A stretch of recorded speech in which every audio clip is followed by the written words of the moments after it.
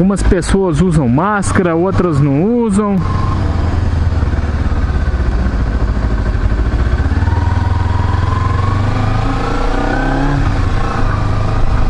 Isso aí vai da consciência de cada um.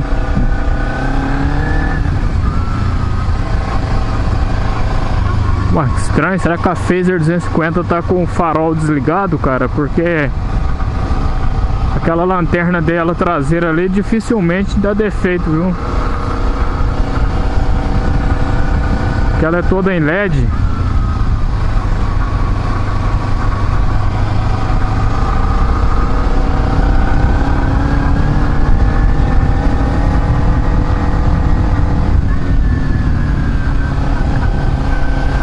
Muito obrigado a todos os seguidores do canal aí, tamo junto. Tem que ficar atento aí com essa saída de veículos aí no, dos acostamentos aí.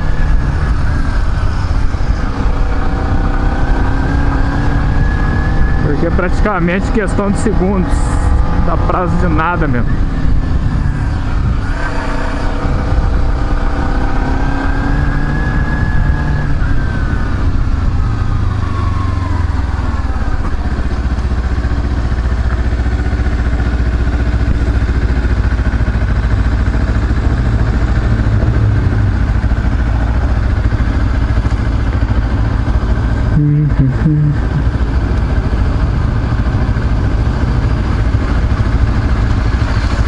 Lander 250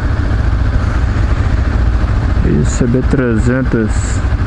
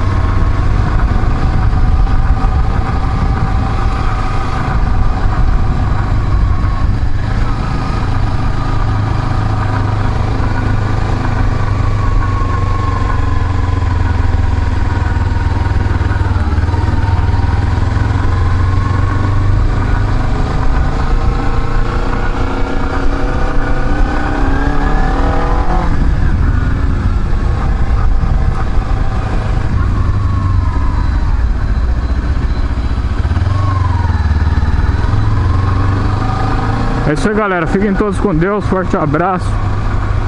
E valeu e fui.